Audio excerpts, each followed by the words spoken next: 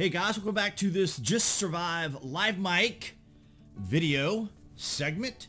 Today we're going to be talking about uh, the patch note suggestions from the team when they suggested that we log into the game, uh, log back out, delete our user option INI file, and then log back into the game, which does replace it. Now, it's interesting when you see on Reddit when we mention these things because sometimes people get a little skittish, they get a little nervous about changing files and whatnot. So today what I wanted to do is just kind of show you guys who are a little reluctant about changing these files. Uh, so basically what you can do is once you're on your Steam, um, I go to my library and I use uh, games, for example. Uh, selection here at the top, library then games. Because this way I can see everything that I need here on this left panel. So what you're going to want to do is, and I'll use this example uh, for live since you guys are mostly playing live. Uh, what you're going to do is you're going to right click on um, just survive and you're going to go to properties. Right? So once you're on properties, what you're going to do is you're going to go over here to the local files tab. Click on that. And then you're going to click browse local files. It's going to take you directly into this folder. Now, for the more computer savvy folks who want to do it old school, I guess you could call it is, you would just go to C, Program Files, Steam, Steam Apps, Commons, and then H1Z1. The reason I mention that is because I know there'll be people in comments that will say, well, why don't you just, okay, there's plenty of ways to do things, so just wanted to get that out of the way. Now, there are several reasons, excuse me, why you would want to use the user INI. Now, when the game first came out, we pretty much had to come in here to do certain types of tweakage. Um, and that is like, for example, we would uh, maybe make some field of view changes. We would make uh, maybe some computations for the mouse to compensate for certain movement or even the reticle. Those are no longer needed. I would not encourage or suggest anyone try to make those types of changes. But let's just say, hypothetically, that you do. Come in here and you maybe mess something up and you go to your game and something isn't working right, all you have to do is delete it. Now, we're in the file right now, but let me just show you all that you do. You're just going to come to your file. You're going to right click it if you want to right click and just delete the file. Okay? Entirely, it's gone. Now, for this particular purpose, I just want to show you while we're here in the user INI. For example, like certain things that I changed. Now, I would not encourage you guys to do this. I used to get a lot of flack for what I'm about to show you. Um, and that is that in the user INI, for the purposes of filming, I changed the gamma to 0.5. All right? What this does is it kind of brightens the game up. Yes, it's very controversial, but the reason I do this is for filming. It's just like why I play in PvE. You know, there's reasons why I, you know, film the way I film, and there's reasons for them. It's not because I try to avoid PvP or because I don't want to play PvP or um, anything like that, or I want some kind of easy mode. It's for filming purposes mostly. Now, speaking of filming purposes, people who want to stream or want to play in Windows mode, you have to come here as well. For example, here in mode, up here at the top of the screen, if you want to play in windowed mode or you want to set the file to windowed mode, you're just going to type in windowed right here, just like that. Okay? I'm not going to change it to window mode right now, but that's what you would do, is you would change that to window mode. Another thing that you're going to want to have to keep in mind, too, for all the savvy types, is, and this is just a personal preference I do. Like, for example, once I change my gamma to 0.5, what I do is, uh, I'm not going to save any of this, is right-click on the user options file and go to properties.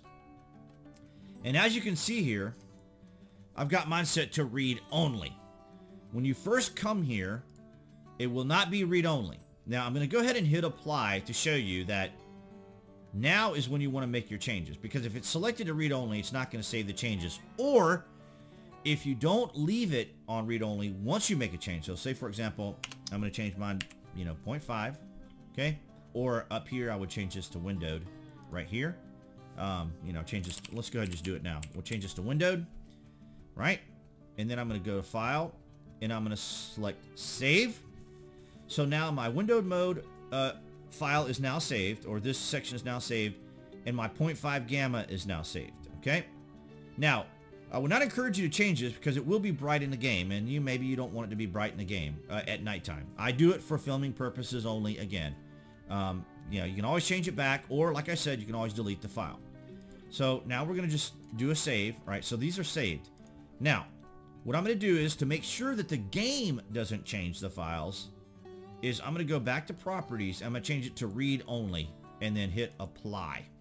All right. So now the game is not going to change those files. All right. Now, another thing I want to show you guys, excuse me. Another thing I want to show you guys is on occasions, now this may not happen to you. It does happen to me from time to time because I make changes. I do a lot of testing and I do a lot of experimentation with the software. So what can happen is you'll get this right here. Yes, it's summertime. I've got family here. I've got all kinds of things going on in the background. So guys, just bear with me uh, through this video. So um, yeah, lots of stuff going on here in the background. But I wanted to get this video out to you. Now, as you can see here, I've got all this junk error strings and uh, crap here on um, on the server loader screen. This is an image from from a video I did earlier to show um, in the update video what you might experience. But this is what it can happen after an update, or this is what happens to me after an update on occasions. So the other thing I wanted to show you is if you get these little issues or crate issues or problems or strange anomalies in the game when you're playing, um, what you can do is we'll go from the beginning again. So we're going to go here to just survive, right? Right click. We're going to go to properties. We're going to go to the local files tab and we're going to go to verify integrity of game files. You're going to click on that and the game is going to verify and validate the files. So if you have some kind of problem, you have some kind of issue with the game, um, you can use this feature here to correct those anomalies like I just showed you um, in that one image that I have already closed out. If you guys have any questions about any of this, uh, playing in Windows mode, streaming, um, yes, I do use the windowed mode for streaming purposes. Uh, if you're an OBS player, if you want to do some game recording uh, on, on, your desktop, uh, OBS, you're also going to want to maybe use uh, windowed mode. It's up to you. Um, I personally use Shadowplay. Uh, I just find it to be a great program. I think it's awesome. Um, it has the desktop capability, as you can see here. It's going to just kind of show this right now because it's in window mode, or I've got it set to do desktop recording versus in-game. Uh, and that's why you see sometimes, you know, why I have a lot of the recordings that I do, because when I do play, you know, if I see a cheater or I see other things in the game, I want to make sure that I'm able to do screenshots and I'm able to do recording.